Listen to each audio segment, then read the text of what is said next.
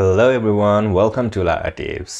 In our previous video, we looked at how to delete an item whenever we click on this delete button. And in today's video, we'll be looking at how to add filters over here. And before starting the video, I'd like you to introduce to this whole series sponsor, which is Cloudways. Cloudways is a managed cloud hosting platform which focuses on your business and avoid all the web hosting hassles.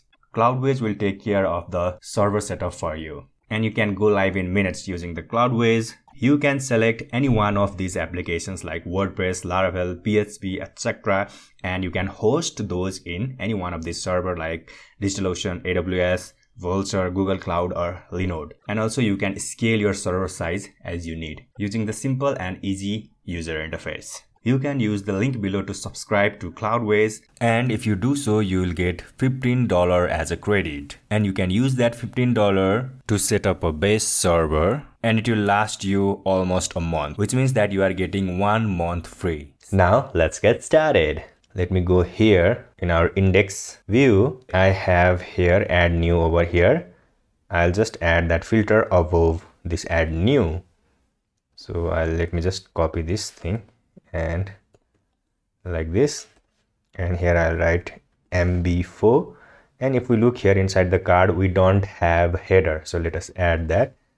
So let me just format it first and it will be like this. And we'll only show this header if we pass slot from here.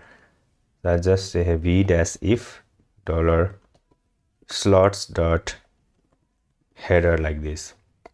And here we will say slot name header. Now let me just give some classes here. And here will be px dash 6 it will be same as that of this.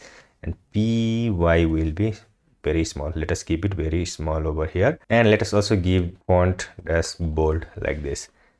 Now if i go here and let's say lorem only like this.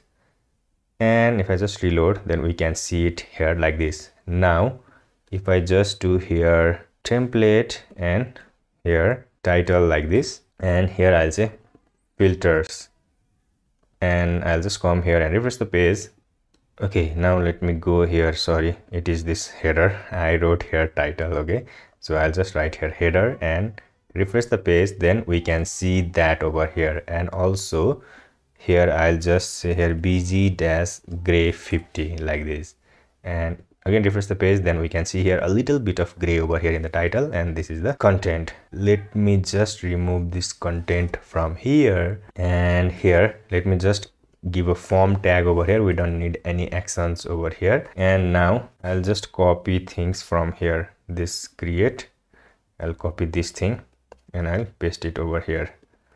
And instead of breeze i'll not write breeze okay? Here and we don't need this input error also. Autofocus and required is also not required and we'll say filters dot name we need to define this. I'll define it a little bit later. Let me import this label and input.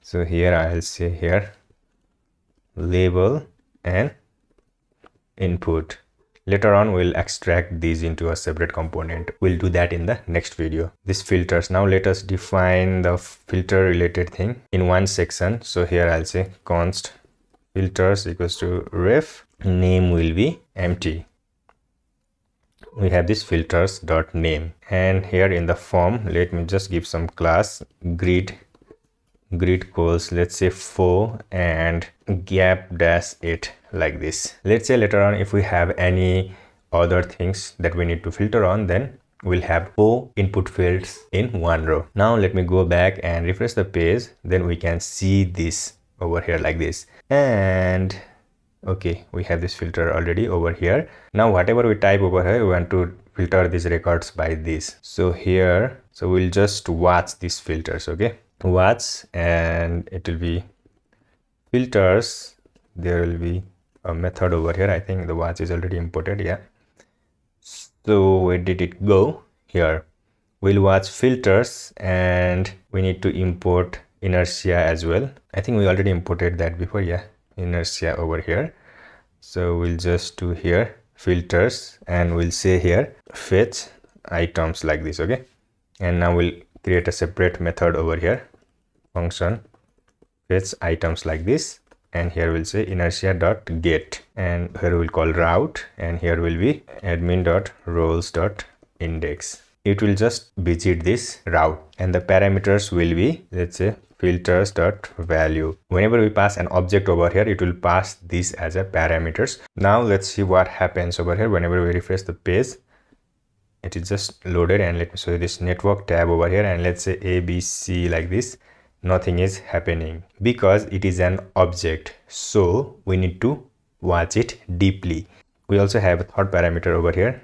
Deep will be true. So after this let me go here and again refresh the page and just call abc b. Now you can see here we have this request that is going on but whenever i type a over here then this thing is gone. And in the parameters also you can see here name equals to a. This is changed to name equals to a okay? So in order to fix this whenever we type let's say d so that the cursor will remain over here we have to just write here in the inertia dot get we have this third parameters over here. And here we'll say preserve state equals to true. And all these parameters are given over here. If you just look here in the inertia.js documentation then you will get all the things that we can pass. Now let me just refresh the page and if i just write a b c d e then it is remained over here but if i just scroll it a little bit over here and if i just type here F then you can see here it is taking me to the top of the page. We don't want this kind of behavior over here. Whenever we type something over here we want this page to be remained over here.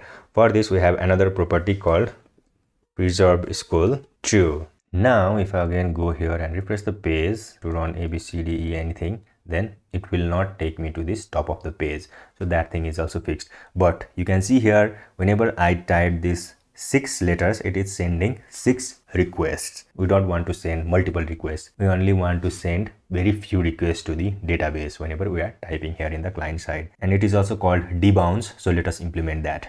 Now here let me just say here const fetch items handler equals to ref and i'll say here null like this.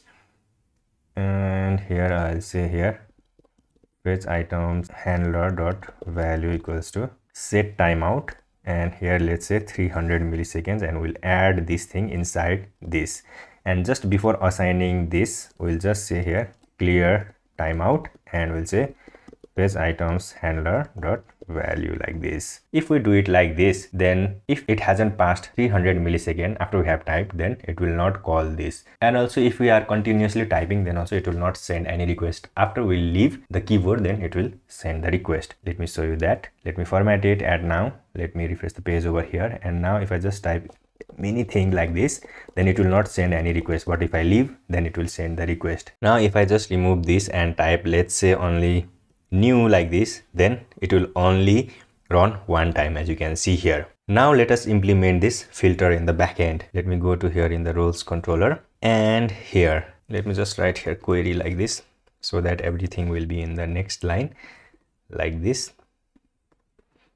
And now here i'll say when request and I'll say here name. Because whenever we type this then we can see here name equals to new which means that we'll get here name in the request. And we'll see here function and then here builder and here it will be illuminate database eloquent builder builder like this and builder and here we'll get also the name. Whatever we pass here this will be available over here.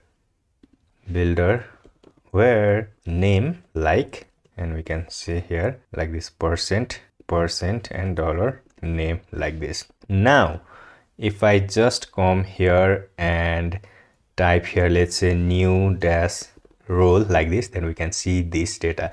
And it is also updated over here. And if i just delete it then also we see. And if i just remove everything then we'll see all the thing. And let me again type here new like this. And if i refresh the page then we are only seeing new role which means that the filter is being applied but we are not seeing anything over here because you can see here name equals to new. Now in order to get that we have to pass it from here. So here i'll just say here filters. And here i'll say request all. But let's say if there is nothing in the request then also it will be an empty array. But we want empty object. So we'll do it like this. Now let me go over here. We have defined props over here. Let me just copy this thing and paste it over here. And here will be filters. And filters will be object.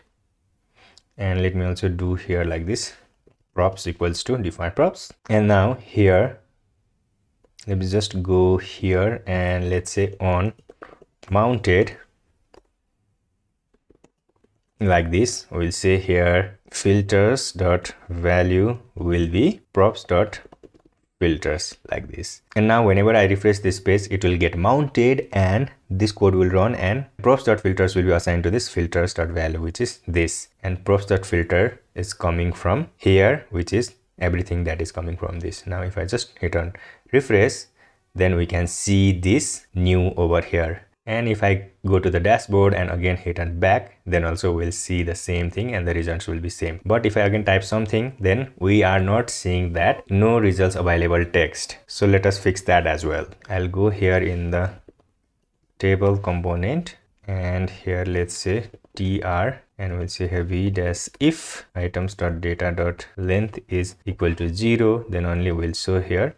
And let me also import td like this and let me use that td and here i'll say no data available. And here will be col span. And col span will be sorry about this. So here it will be like this. Col span will be we have headers over here. Headers dot length. Now if i come here and refresh the page then I'll see here no data available and if I just remove this then we'll see all the contents. But now if I come here and hit back then also we are in the same page but we are seeing that different data over here. Like we have this new SDF now. If I can hit back then we don't have anything like this. But let's say we are here in the dashboard and if I came here in the roles and if I just did some source and did like this and also new role like this now if I hit back then I want to go back to this dashboard so let us do that as well.